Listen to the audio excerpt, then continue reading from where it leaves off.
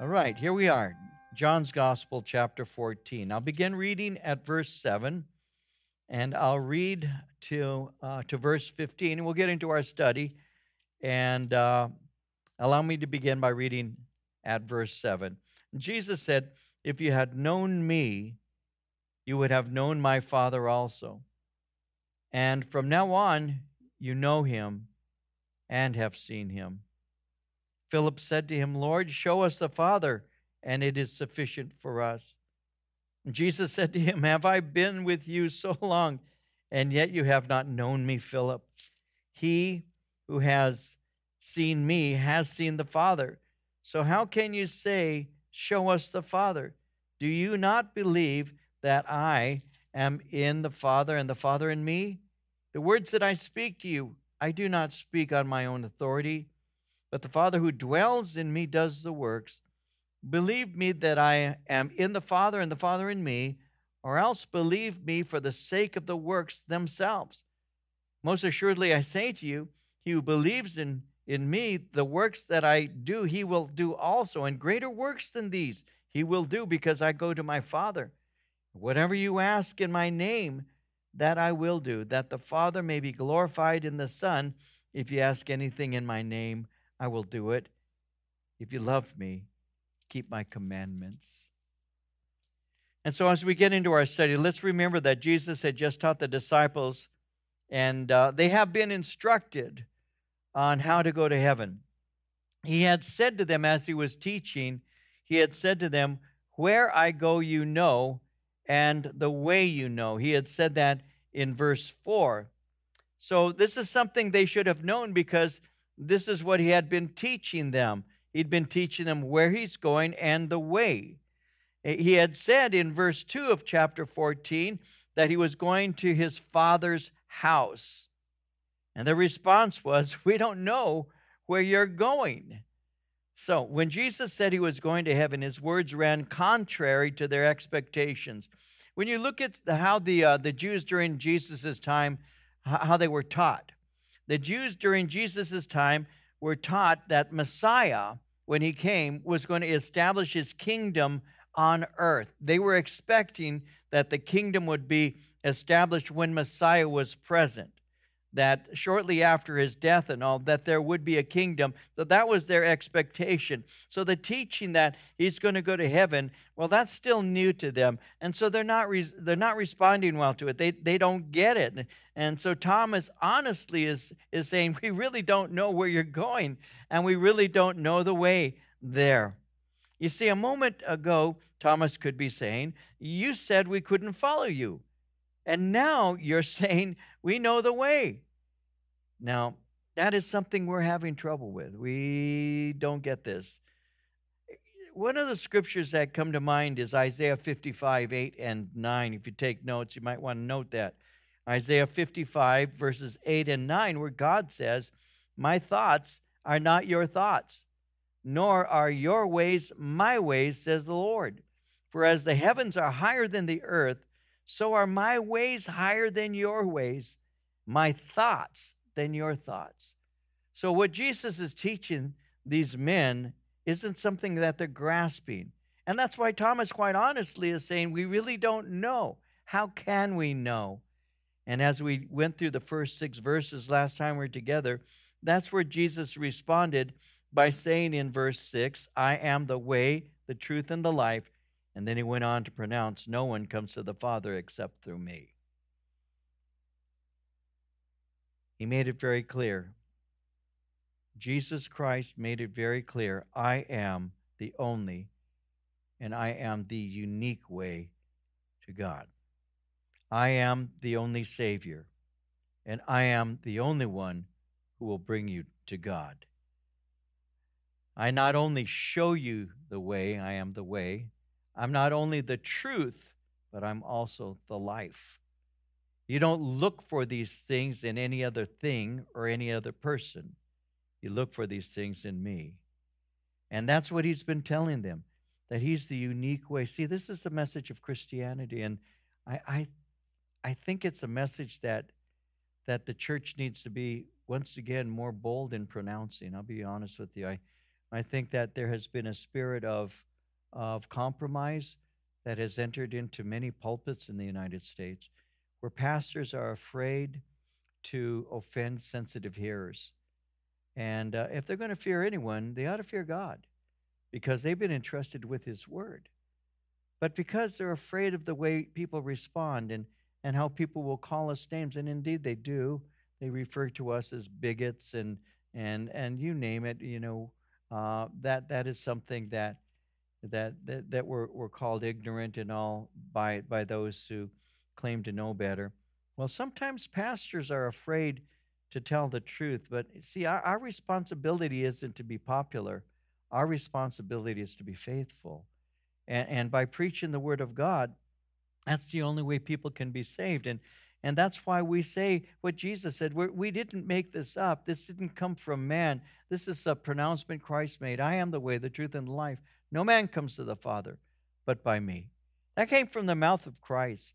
And that's something that the church needs to once again remember, especially this season where we're celebrating the resurrection of the Lord Jesus Christ, which, which validates all of his claims. Had he remained in the grave, then he would have not been telling the truth. But in that everything was centered on his resurrection, everything was centered, all the, the statements and all of the doctrine and, and everything that related to him is centered on one central fact, and that is that Jesus Christ died, buried, and was resurrected the third day.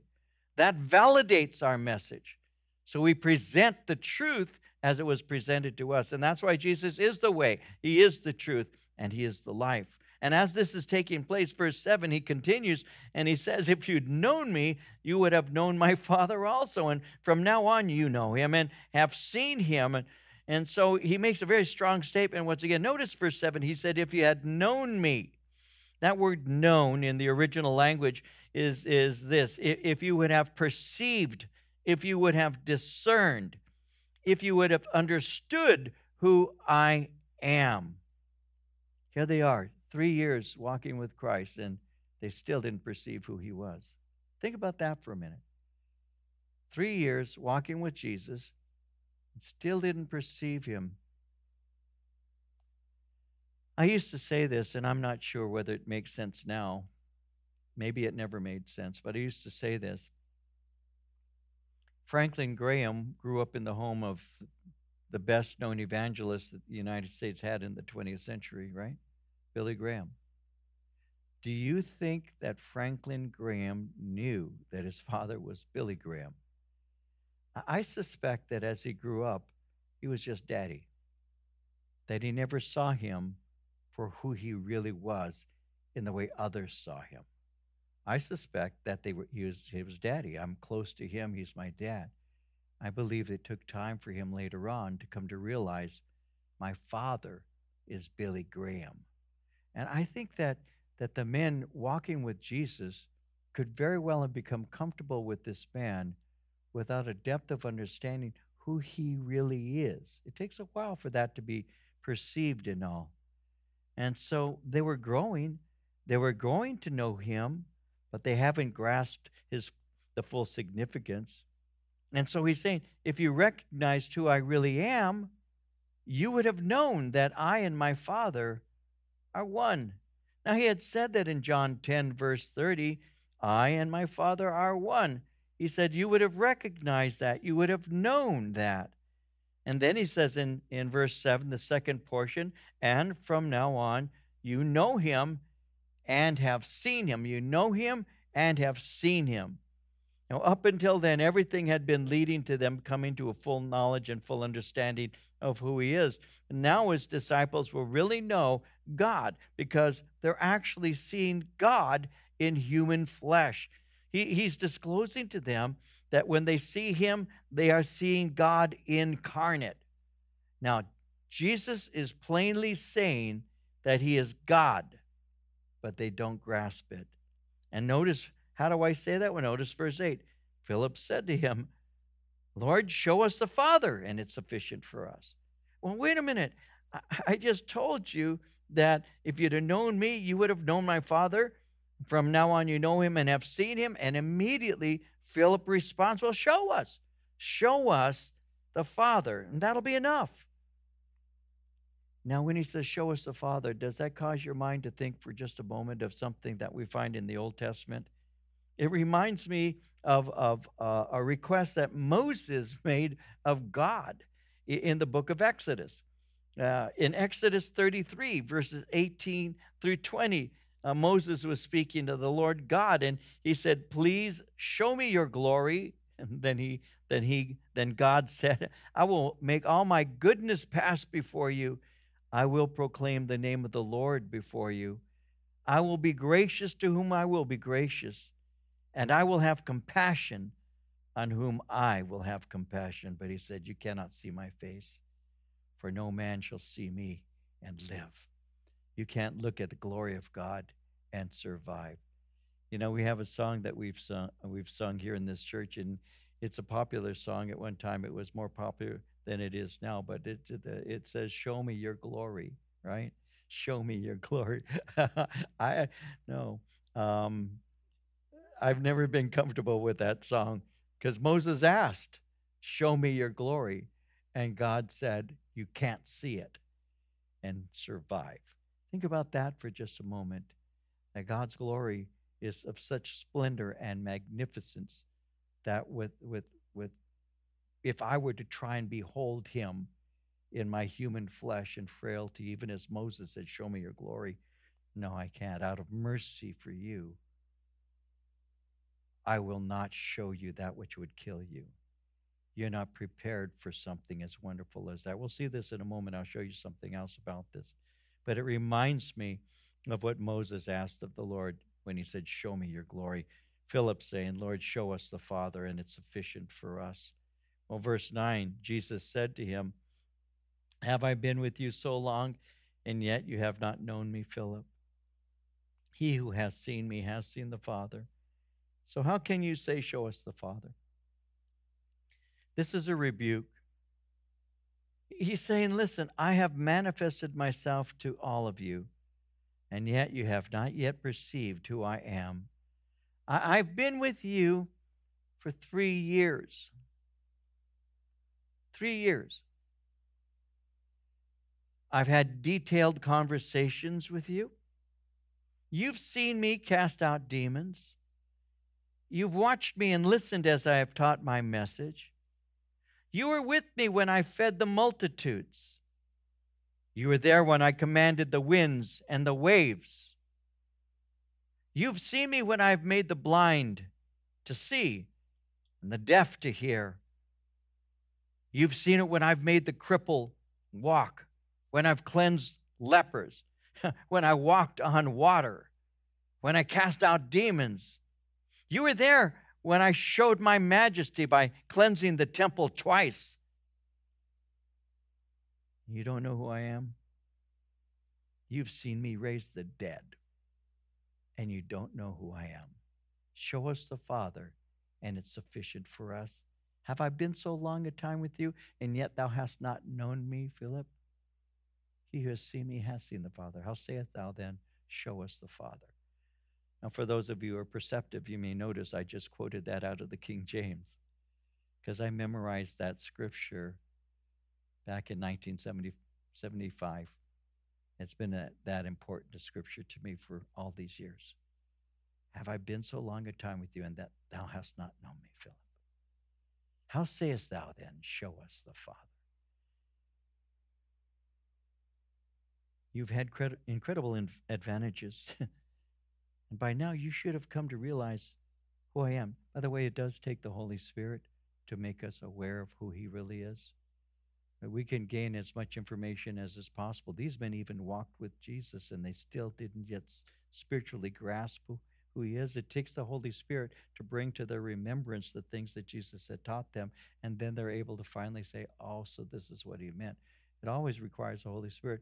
That's why every every teacher needs to pray that God will use the word and by the power of the Holy Spirit bring conviction to the hearer so that those who are listening may not just be well-educated pagans but may actually be converted to faith in Christ. Because there are quite a number of well-educated pagans, people who can quote scripture but don't know the author of scripture. It takes the Holy Spirit to awaken us to who Jesus really is. And that's going to take place later. The Holy Spirit will come into the life these men, but progressively they should have their eyes being opened by the teachings and works of Christ. You'll see this in a minute.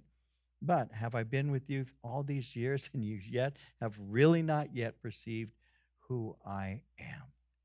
And it's very possible for that to take place, and it did in their in their case. And that's why he says uh, in verse 9 again, He who has seen me has seen the Father. How can you say, Show us the Father?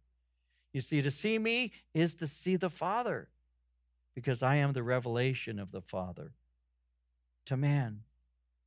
I am the incarnated God, is what he is saying. And that's the witness of the New Testament. Jesus Christ is God in the flesh. Jesus was a great teacher. We all know that. There are those who are not even believers who will say, if you want to see a model of the greatest message ever preached, they will say this. You could read this in secular books. They'll say, read the Sermon on the Mount. They'll tell you that. They'll say that is the most eloquent, perceptive sermon ever recorded. And they'll tell you that. I remember a guy who spoke concerning his unbelieving professor who knew and had memorized by, by heart had memorized the Gospel of Mark word for word, word for word, 16 chapters.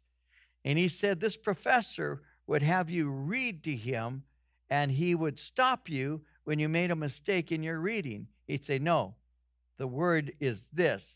And he said he knew the Bible verse by verse, word by word, all 16 chapters. He knew the words, but didn't know the giver of the words. And there are a lot of people that come to church, and we know this. You guys that were serving, teaching, and ministry know this. They, they, they know the words, but they don't know the author. They know what the Bible says, but they don't listen. Jesus is going to speak about that in just a moment. We will see that. But Jesus is saying, listen, I've had detailed conversations. You've seen the works that I've performed. You've heard the teachings that I have given, and yet you have yet to perceive who I really am. And if you've seen the Father, uh, you, have you have seen me, you've seen the Father. So how can you say, show us the Father? In Colossians 1.15, uh, Paul said, He is the image of the invisible God, the firstborn over all creation. In Hebrews Uh, chapter 1, verses 1 through 3, the writer of Hebrews said, In the past, God spoke to our forefathers through the prophets at many times and in various ways, but in these last days, he, he has spoken to us by his Son, whom he appointed heir of all things, and uh, through whom he made the universe. The Son is the radiance of God's glory and the exact representation of his being, sustaining all things by his powerful word. And after he had provided purification for sins, he sat down at the right hand of the majesty in heaven, the exact representation of his being. In John 1:14, the word became flesh and dwelt among us. We beheld his glory, the glory as of the only begotten of the Father, full of grace and truth. That answers the question, what is God like? Jesus is God in the flesh and he perfectly reveals to us what God is like. Now, again, remember the request. I mentioned it earlier to you guys. Remember Moses' request, show me your glory? Well, in Exodus chapter 34, verses 5 through 7, the Lord descended in the cloud and stood with him there and proclaimed the name of the Lord. The Lord passed before him and proclaimed, The Lord, the Lord God, merciful and gracious, long suffering, and abounding in goodness and truth, keeping mercy for thousands, forgiving iniquity and transgression and sin, by no means clearing the guilty, visiting the iniquity of the fathers upon the children and the children's children to the third and fourth generation. Show me your glory. My glory is in my name. My glory is who I am. It is my attributes. I am the Lord. He said, and this is my glory, mercy and grace, long suffering, goodness, truth. That's my glory. You, you're, you're wanting to see something other than not understanding what really is my makeup, what I really am. Here's the thing I'm trying to say Moses, you want to have a supernatural experience with seeing my glory, but you need to understand that my glory is made manifest in the declaration of who I am. And who I am is going to show you what glory truly is. But you cannot see me now, but you will see me later. Because John says that we already know, and I just quoted verse 14 of John 1, but he had said in John 1 1, in the beginning was the Word, the Word was with God, the Word was God, and then the Word became flesh. So you have heard of me, and you have worshiped me. You walk by faith, not by sight. But I have now manifested myself in human flesh so that you can see Jesus, and in seeing Jesus, you see me. You want Moses to see my glory? Look at the Son. When you see the Son, though the Son had yet to be incarnated, but speaking in that way, you want to see Jesus, you want to see God's glory? You look to the Son. That's how it works. And so he goes on to say, Do you not believe that I am in the Father and the Father in me?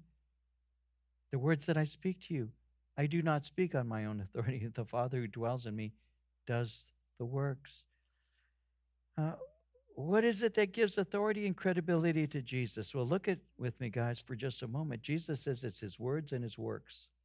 What gives authority and credibility to Jesus? His words and his works. The words that I have spoken and the works that I have performed should prove to you who I am. You see, my words are from heaven, and they have heaven's authority. There's an authority Jesus had, and he's saying, This authority um, that I speak with is there because I am from heaven. In John 7 16, Jesus said, My doctrine is not mine, but his who sent me. In John 8 38, he said, I speak what I have seen with my Father. I'm an eyewitness. In John 12 49, I have not spoken on my own authority. The Father who sent me gave me a command what I should say and what I should speak. So my words are obviously from heaven, and I speak with the authority of heaven. And he spoke, Jesus spoke in such a way that people would marvel at the words that proceeded from his mouth. And in Matthew chapter 7, verses 28 and 29, when they saw his confidence, it caused his confidence caused people to, to take notice. The authority he spoke with caused them to take notice. Remember that Matthew 7 28 and 29. So it was when Jesus had ended these sayings, the people were astonished at his teaching. He taught them as one having authority and not as the scribes. The scribes during his day, the teachers of the law during his day, did not say uh, the, the kinds of things Jesus said. Jesus would say, You have heard it said uh, of them by them of old. But I say unto you, but I say unto you, it isn't just me quoting Rabbi Hillel or, or, or Rabbi Shammai, uh, Rabbi Gamaliel, well known rabbis. He said, You've heard it said of those of old, but I say unto you. And that's what caused the people, as they listened, to say, He's not teaching us like a scribe. He's not, he's not citing the authorities that he uses to bolster his own. He speaks as if he has it himself. And that's what Jesus had. He didn't need to quote people because he was the Word made flesh. He was the authority. So, my words that I've spoken from heaven, and secondly, my works. My works prove who I am because my works bear witness of me. In John 5, again, verse 19, Jesus gave them this answer very truly, I tell you, the Son can do nothing by himself. He can, he can do only what he sees the Father doing, because whatever the Father does, the Son also does. He had said in John 10 37 and 38, If I do not do the works of my Father, do not believe me. But if I do, uh, though you do not believe me, believe the works, that you may know and believe that the Father is in me and I in him. Not only my, my words, but also you can see the proof of my words by my works. If there's anything that believers need to realize today, I should say this briefly, applicationally. It's what you are speaks so loudly that sometimes people won't hear a word you say. Keep that in mind. What I am speaks so loudly that sometimes people can't hear a word I say. Why? Because they're looking at the way I live. Because the way I live really does reveal what I believe. If I say I believe in a loving God and I'm not loving, they have a reason to question whether or not I really know this loving God. If I speak of a merciful God, but I'm not merciful, I speak of a God who provides, but I don't believe He will. I speak of a God who is always with me, yet I feel He's distant from me. They have a tendency of looking at how I live. Your words and your works, they always have to be united. Are they always united? No. Please don't get a sense of condemnation, even as I'm sharing this. It could cause you to feel a condemnation. I don't intend that. What I'm trying to say is Jesus is the only one who could actually say my words and my works line up then there's never any disparity between the two. What I say is what is, and what I am is right on with what I've said. But that's something we as believers, don't you think? That is something we as believers ought to aspire to, to be consistent. If I say I love the Lord and yet I live as if I don't, if I say I trust the Lord but I live as if I don't, that's what brought me to faith in Christ, guys. That's what brought me to faith in Christ. You all know my testimony. I'm not going to give it other than the fact I can say one thing I've said before. I'll say it now. I walked into church, Calvary Chapel, Costa Mesa. I walked in as an unbeliever and I was ambushed by something I didn't expect to find in a church. And I didn't know what it was. And as I've shared so many times with you, what it was was love. What it was was love. I felt love. And I was somebody who wanted it, but didn't know what it was. I always thought love was going to be found in, in, a, in a woman, but in fact, love was found in my Savior. And that's, that's, that's a, a, a real difference. And the Christians who were at that church there, I don't know. I don't know where any of them are anymore. I, how would I? All I know is love always is worked out in behavior and truth is always lived out. By the way I live, I demonstrate it. And Jesus could point to himself and say that.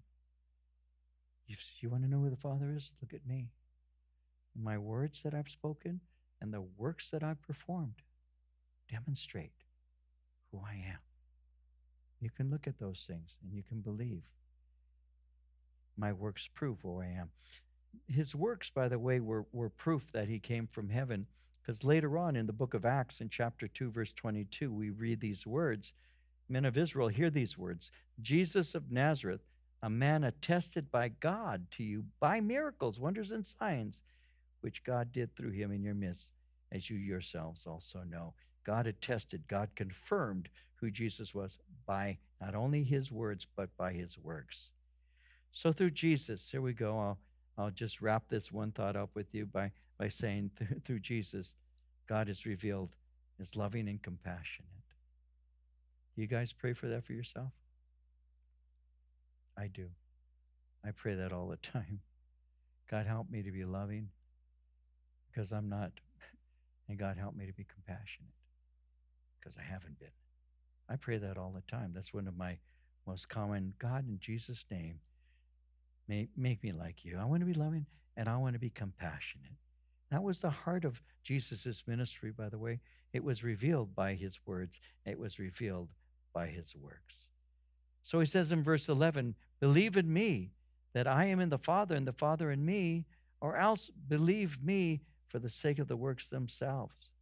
So Jesus is making it clear to them that there's an evidence that he's telling the truth.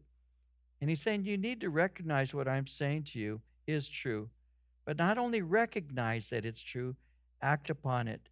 He says in verse 11, Believe me for the sake of the works themselves. My works are intended to draw you to faith. If, if, you see, if you see what I'm doing and it lines up with what I'm saying, then that ought to cause you to see who I am and, and allow those works to draw you to me. In verse 12, most assuredly I say to you, he who believes in me, the works that I do, he will do also and greater works than these he'll do because I go to my Father. Now, here's something for you if you take notes. And these few verses that we've looked at, beginning at verse 1, up until this time, uh, Jesus has used the word believe five times.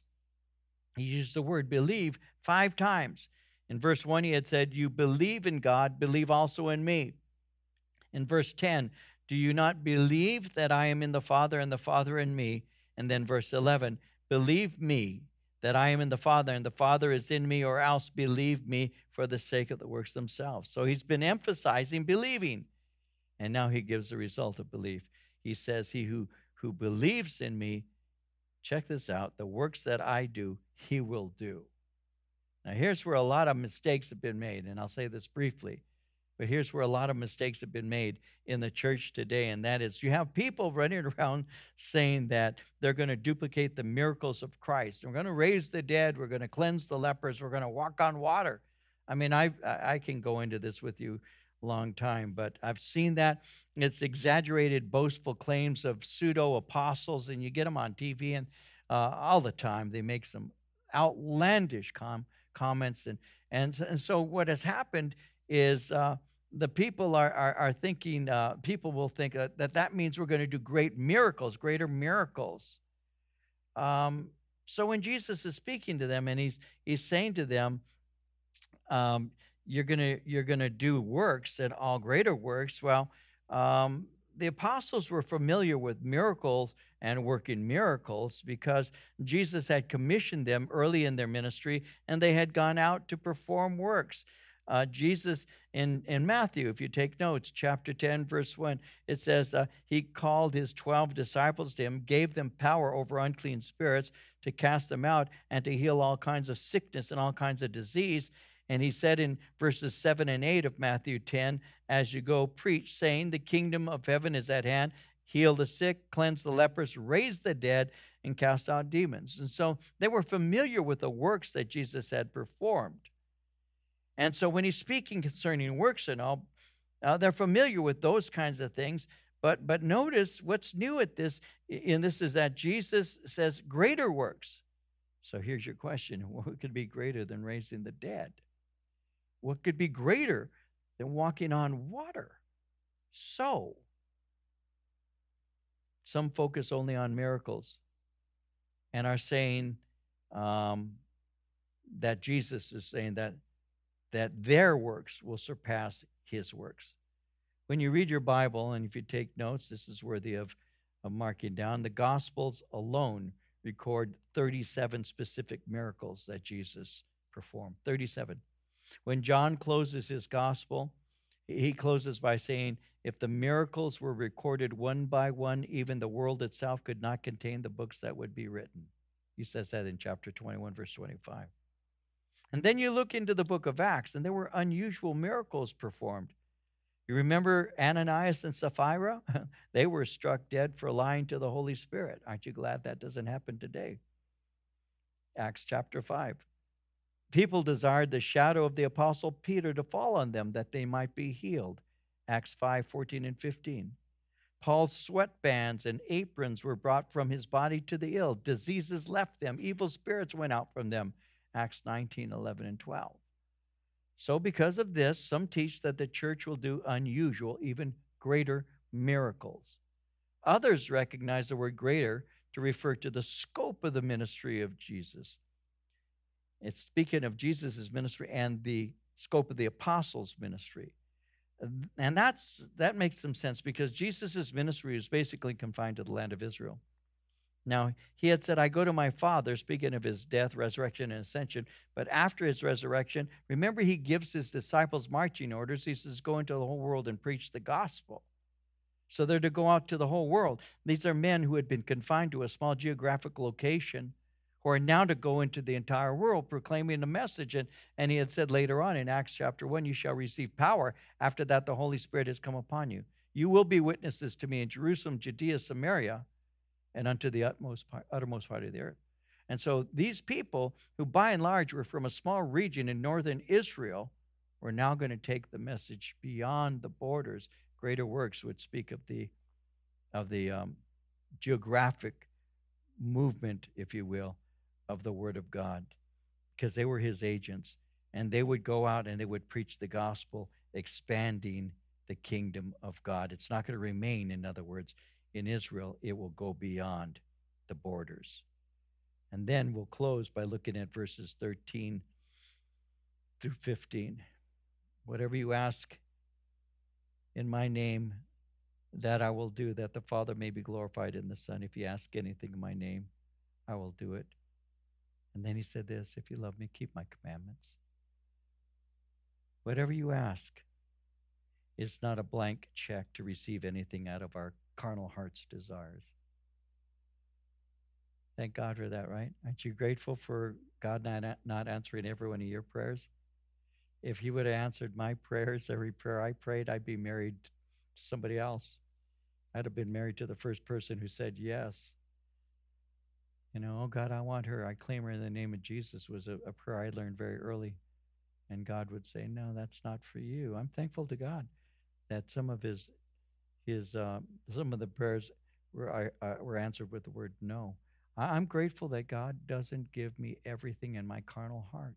I ask amiss, sometimes, like James says, wanting to consume it on my own lusts. So some people will say anything. He said it just now in my name. If you ask anything in my name, I will do it. Now wait a minute. And, and I like to remind us all that your prayers are according to the will of God as God determines it's what he how he answers. He wants me to be aligned with him. I'm not supposed to try to get him aligned with me. And and, and the way I can know how to pray according to his will is very simply to be in his word. In John 15, we'll see this uh, soon. In, in verse 7, John 15, 7, if you abide in me and my words abide in you, you will ask what you desire, it shall be done for you. You're abiding in His Word and praying according to His will. It, it says in Psalm 145, verse 19, that He fulfills the desires of those who fear Him. And so, as we fear the Lord in reverence, we hold Him in high esteem and love, and we pray according to His Word, which reveals His will as the Holy Spirit leads us. Then we ask in the name of Jesus, who is our mediator. He said, He's the way, the truth, and the life. No one comes to the Father but by me. So I go through Christ in my prayers. And that's why we close our, our prayers in the name of Jesus, in your name. It's because we're speaking of his authority.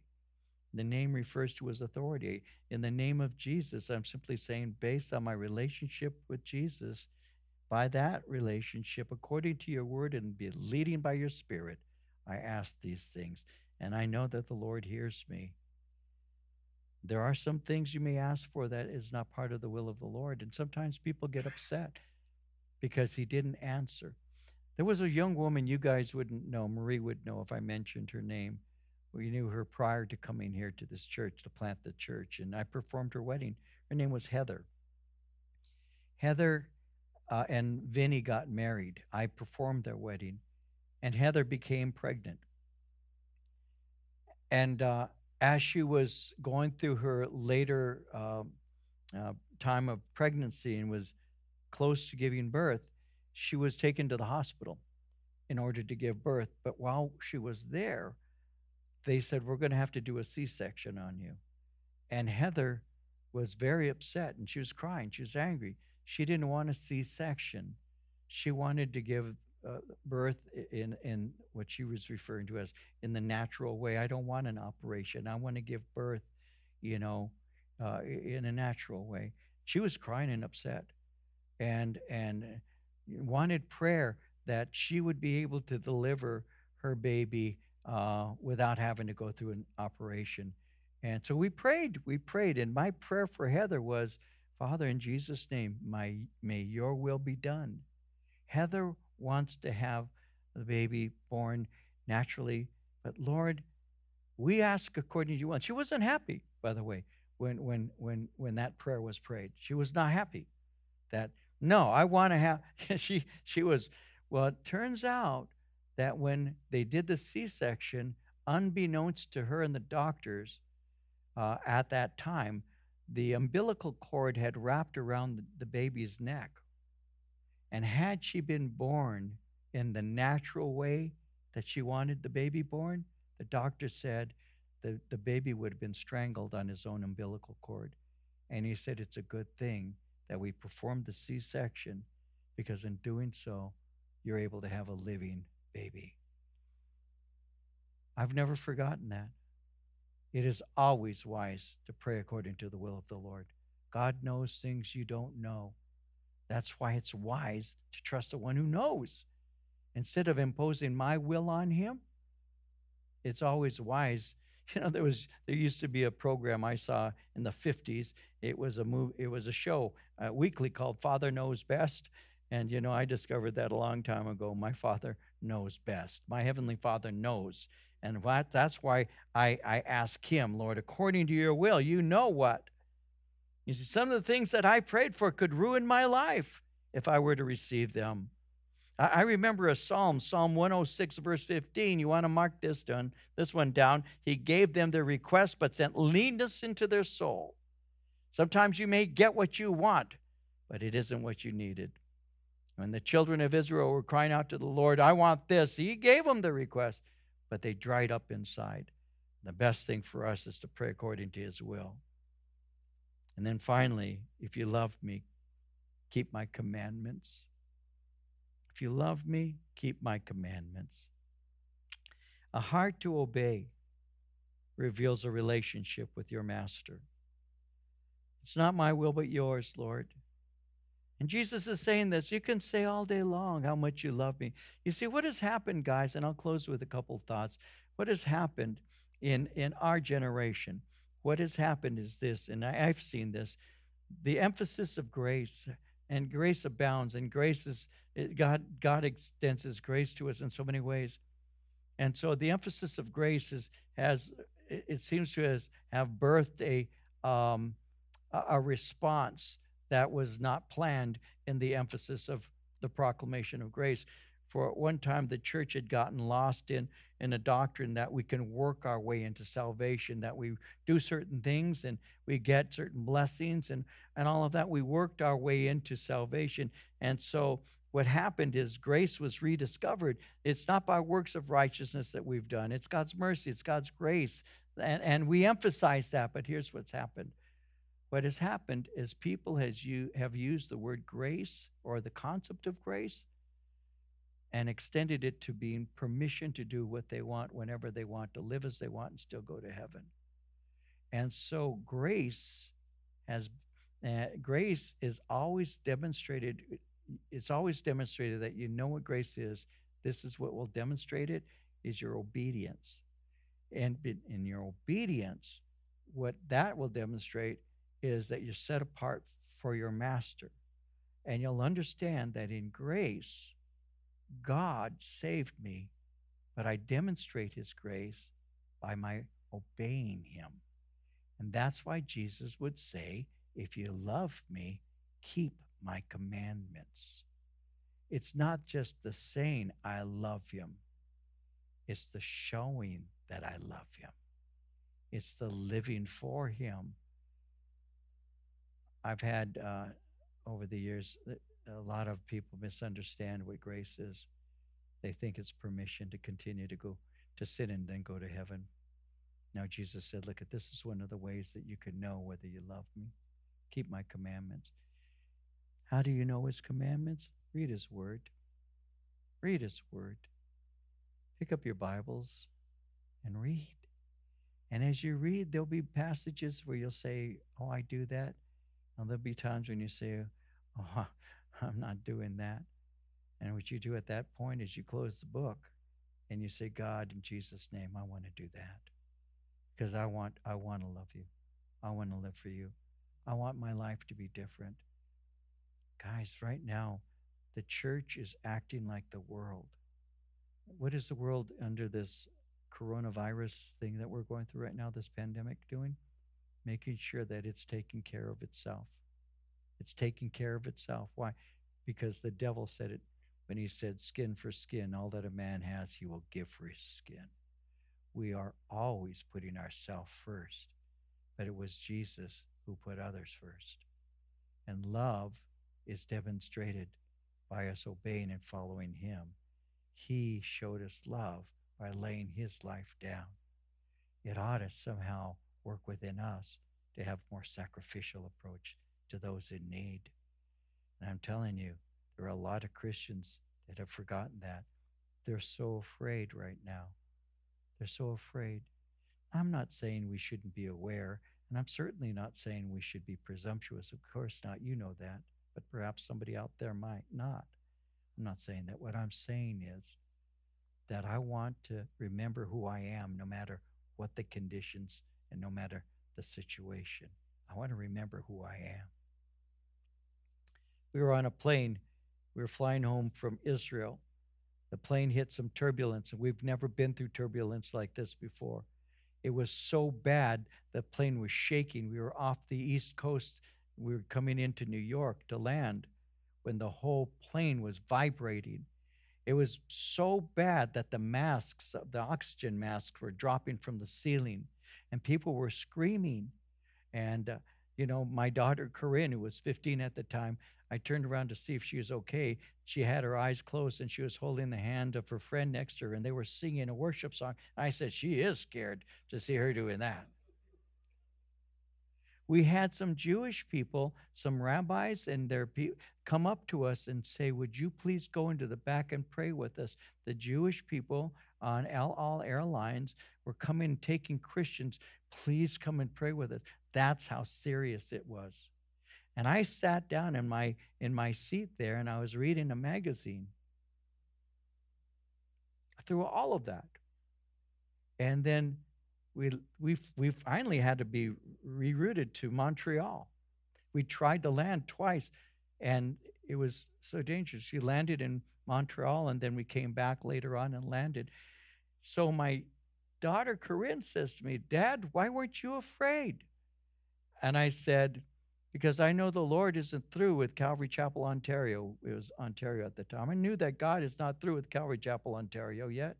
She looks at me and she says, Has it ever appear, uh, appeared to you that uh, God doesn't need you to finish what's going to take place at Calvary Chapel, Ontario? And I said, You know what? I never thought of it. Uh, I probably should have thought of that, but no, I never did. I haven't thought about that. Just last year, my daughter Anna, who was on that flight, told me something I'll close with with you guys. She said, Dad, she says, you remember? And she reminded me of that. And I said, Of course. She said, She says, I wasn't afraid. And I said, Really? And why was that, honey? She says, Because I kept my eye on you. She said, I knew if you got afraid, I should be afraid. She says, But and I saw my father wasn't afraid. She said, Your faith ministered to my fear. Guys, people are looking to you right now. They're looking to you. Let your faith minister to their fear. Remember what Jesus said I go to prepare a place for you. And if I go and prepare a place, I will come again and receive you to myself. That where I am, there you may be also. Believe in me, Jesus said. Do you? Do you? I hope you do. Because in these days that we're in right now, our faith is on trial. We get a chance to, sh- to say, not with presumption, but to say, no, God is my God. My God is able. He will bring us through. We need to remember that. Let's pray. Father, we we pray in Jesus' name that you would remind us of that. And may we love you, Lord, and may we obey, because we know that obeying you is to also trust you. Your word is true. And therefore we pray, Lord, that we might cast our fears and concerns upon you, for Lord, you do love us. We lift up once again those who are listening to this message, and even now as we're about to close and our eyes remain closed for a minute, perhaps there are some who are listening right now and you need to get right with Jesus Christ. You're afraid. You're concerned. And you're not living for Him. You may be a backslider. And you need to get right with the Lord. You may be a person who's never given your heart to Christ. You know enough about Him, you just have never yielded to Him. Well, I'm going to invite you right now, before we close, to give your heart to Christ. Say, God, be merciful to me. I'm a sinner. Wash and cleanse me. And if you need to do that, if you desire to do that, then why don't we just pray together? Repeat after me in your heart. Father, I know that I'm a sinner. Jesus died on the cross to save sinners. Jesus died to save me. Forgive me of my sins. Cleanse me. Give me a new life. I will follow you every day from this day forward. In Jesus' name, amen. And if you can pray that and have prayed that, open your heart to the Lord and all, you can be born again even as you prayed that. Just, I ask you, just contact us. Let us know so we can send you some materials to help you in your walk with Jesus. And so, Lord, we'll close now by thanking you for all the work that you've done, all the work that you're doing. And again, Lord, I pray that that we may be able to glorify you and Good Friday as it comes, and on Easter Sunday, because like someone's been writing, churches may be may be empty on on Sunday, on Easter Sunday, churches may be empty, but so is the tomb. And Lord, we believe that. We have a risen Savior, and we just celebrate that. We will live for you. In Jesus' name, amen. Amen.